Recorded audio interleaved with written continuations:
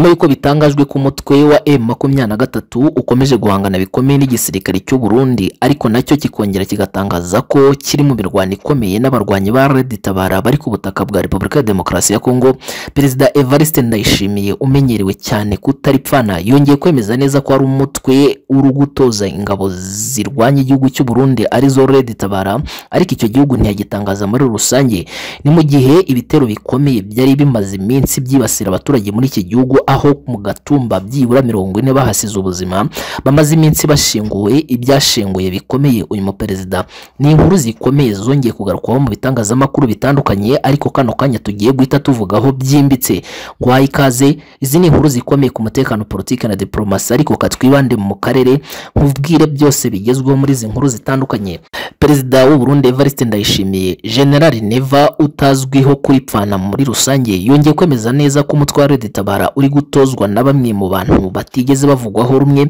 ariko akemeza neza ko ari umwe mu gihugu cy'abaturanyi bari gutoza abarwanyi bari gushegesha bikomeye abasirikare be muri rusange. Perezida Evariste Ndayishimiye yatangaje ko igihugu cy'abaturanyi kirimo gutoza intwaro cyangwa se kikanatanga n'abasirikare bari gufasha umutwe wa Red Tabara kugaba ibitero mu gihugu cy'u Burundi. Ibyo yabitangaje mu kiganiro yagiranye n'ibitangazamakuru kuri tariki ya makumyabiri n'icyenda ukuboza makumyabiri na gatatu yanatangaje ko umutwe witwaje intwaro wishe abasirikare ndetse ukanagira n'ibujumbura ugakora ibikorwa bikomeye byatumye iki gihugu gihungabana mu buryo bw'umutekano muri rusange. Yagarutse kandi ku mutwe wa Red Tabara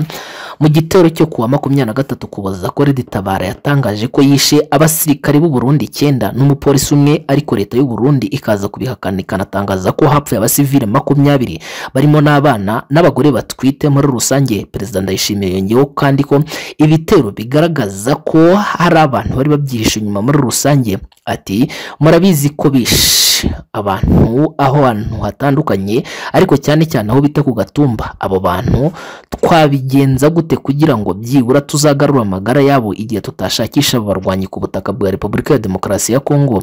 ni inkuru zongeye kugarukwaho mu bitangazamakuru bikomeye aho mu cyumweru kimwe gusa cyari gishize hamenyekanye neza ko abasirikare b'u Burundi benshi nabo bari biciwe mu bitero bikakaye M23 yagabye kuri uyu mutwe w'abarwanyi bivugwa neza ko bafasha Felix Antoine Gisekedi ku butaka bwa Repubulika ya Demokarasi ya Kongo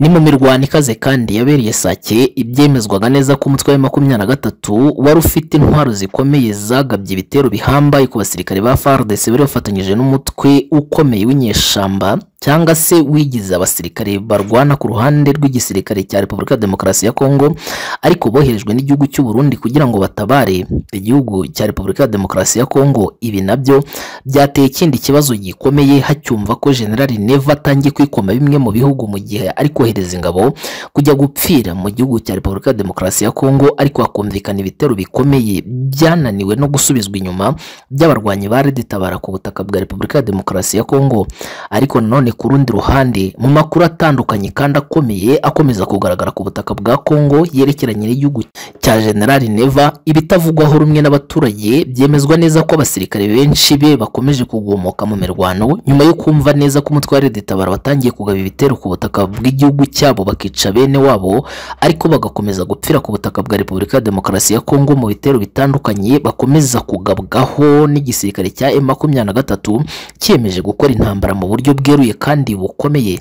Mu yandi makuru turi buze kugaruka ku bibazo bikomeye M23 yongeye gutangaza ko yiteguye gucecekesha intwaro z'umwanzi aho zaturuka hose ku butaka bwa Repubulika ya Demokarasi ya Kongo. Mu nkuru turi buze kugarukaho mu masaha ari imbere nanone mu yandi makuru atandukanye nanone kandi.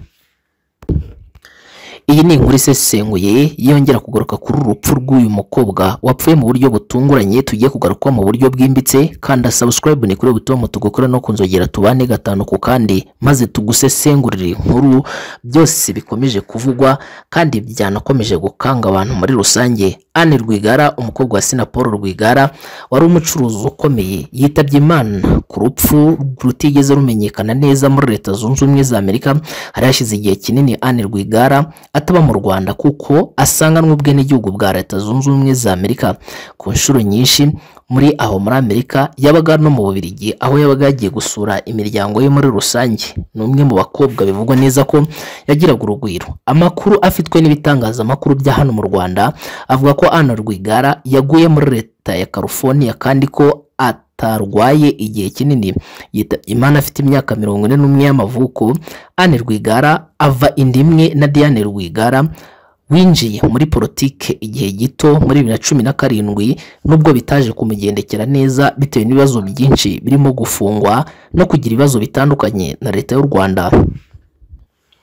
Mu nkuru y'agahinda n'umubabaro yongeye guhabwa BBC gahuzamiryango n'umubyeyi w'uyu mukobwa Anne Rwigara yababwiye ko urupfu rw'uyu mukobwa rwabaye amayobera kuko yahise afatwa agahita apfa mbese ni amayobera gusa gusa. Mu butumwa yagize ati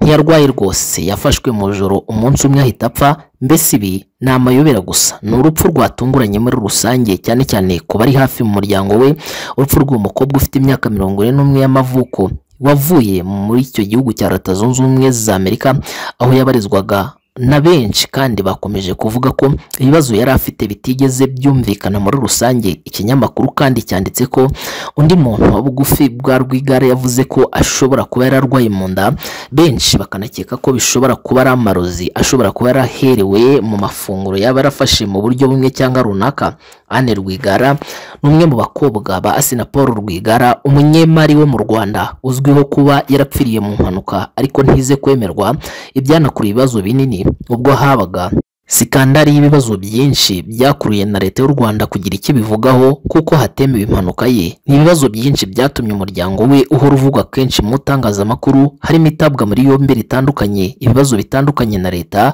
iby'ubucuruzi guhomba imari zabo n'ibindi byinshi. Ni ibibazo bitigeze bivugwaho rumwe aho ibitangazamakuru mpuzamahanga bitaremezana n'ubu ngubu bimwe mu bibazo bikomeye uyu mukobwa ashobora kuba yazize muri rusange. Mu gihe amakuru menshi akomeza kubigera mu bitangazamakuru bitandukanye yemeza neza ko Anne Rwigara kugeza ubu icyamwishe kitaramenyekana nyuma y'uko hapimwe umurambo we kugira ngo hashakishwe byinshi mu bimenyetso byaba byihishe inyuma y'urupfu rwe muri rusange rutaravugwaho rumwe nanone